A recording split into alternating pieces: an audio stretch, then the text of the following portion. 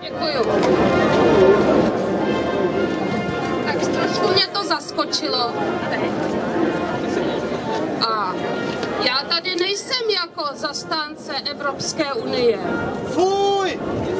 Já jsem přijela z Azijské unie.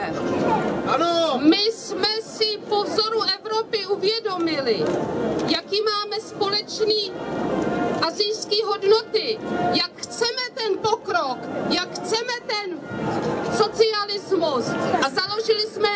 Azijskou unii. Poučili jsme se z Evropy a omezíme referenda na minimum, nebo je radši úplně vypustíme. Určitě nebudeme dělat referendum v Syrii. Krajně nebezpečné je dělat referendum ve Vietnamu, je to bývalá kolonie Francie. A v Indonésii to je zase kolonie Holandska. Musíme vyhnout za každou cenu, ale kdyby to náhodou nevyšlo, tak máme osvědčenou firmu Intel, která nám s tím pomůže. Budeme oslovat aziatství. Budou společné zákony v Singapuru, Afganistánu, Sýrii a Severní Koreji.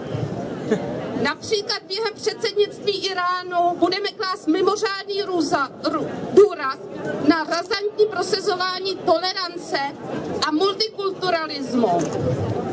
Podobně jako předsednictví Uzbekistánu bude charakterizováno bojem za celoazijský zákaz lovu tuleňů. Při předsednictví Filipín bude oproti tomu kladen důraz na rozvoj jednotného celoazijského vesmírného výzkumu, hlavně souvěstí hrocha.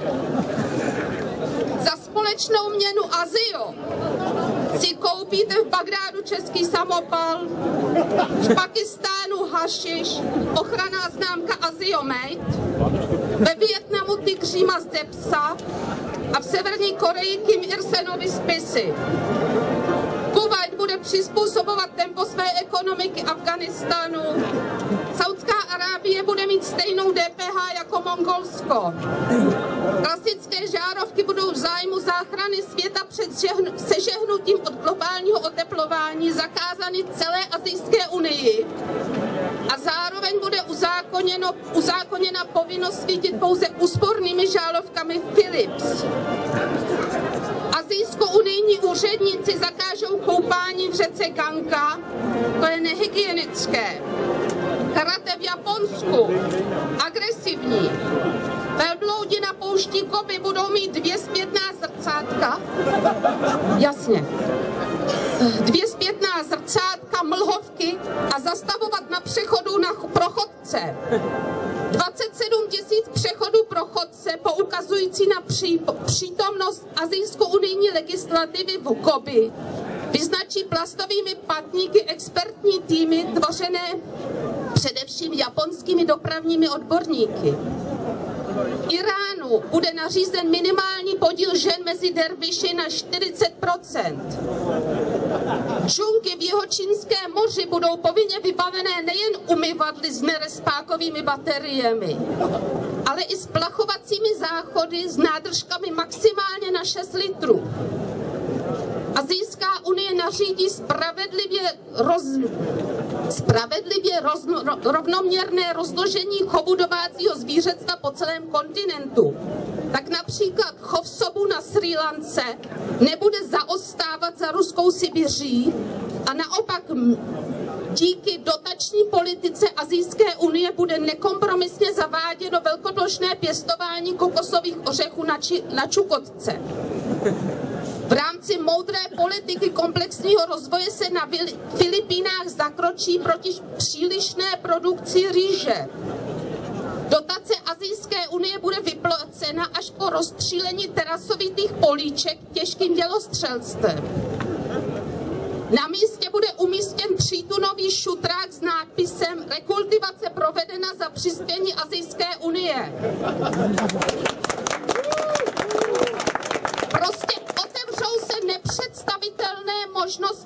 Rozvoje, a to jedině díky správnému pochopení společných azijských hodnot a jejich důsledného prosazování ze sídla Azijské unie ve Lhaze.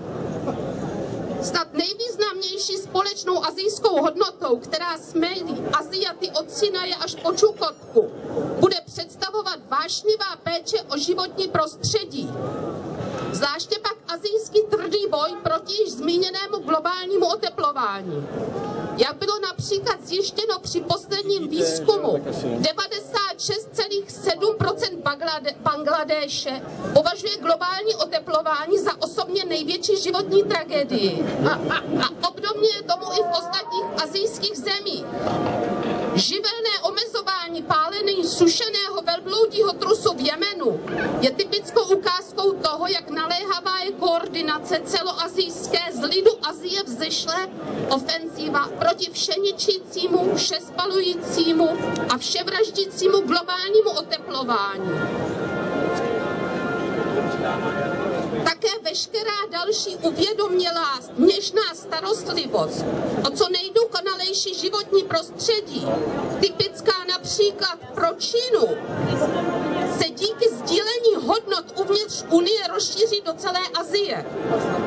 Takže kmérové v džungli budou používat víra, výhradně biologicky dokonale odbouratelnou zubní pastu a obyvatelé Papuji nebudou již sandály vyrábět z neekologických petlahví, nýbrž z plně recyklovaných celulozových pytlíků od pečiva.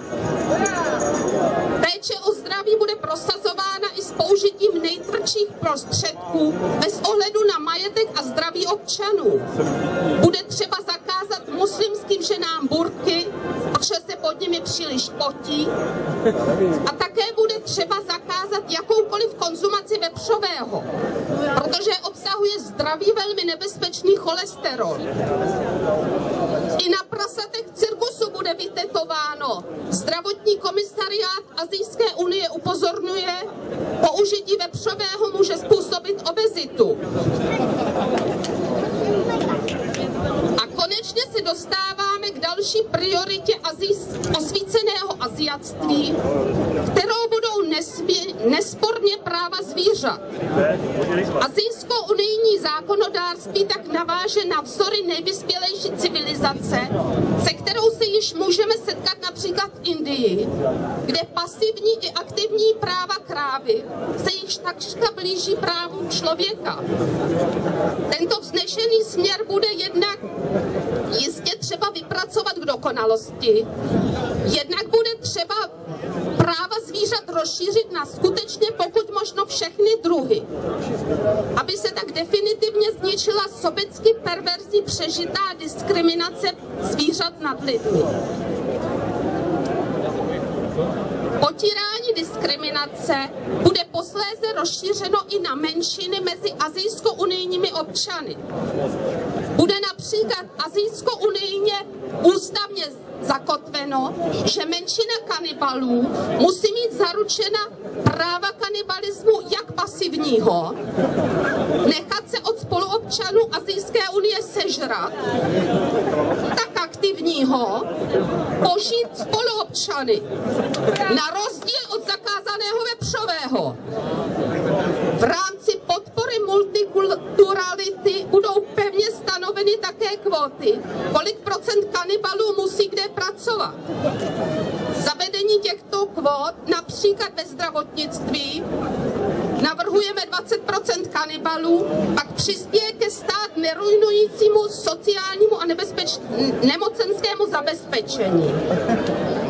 Na závěr je třeba připomenout, že Azijská unie zavede společnou azijskou zahraniční politiku a zjednoduší se sportovní soutěže, které budou mnohem levnější, protože místo oblubného množství států a státečků ubíjených zločinným nacionalismem se budou utkávat Evropské unie a Azijská unie.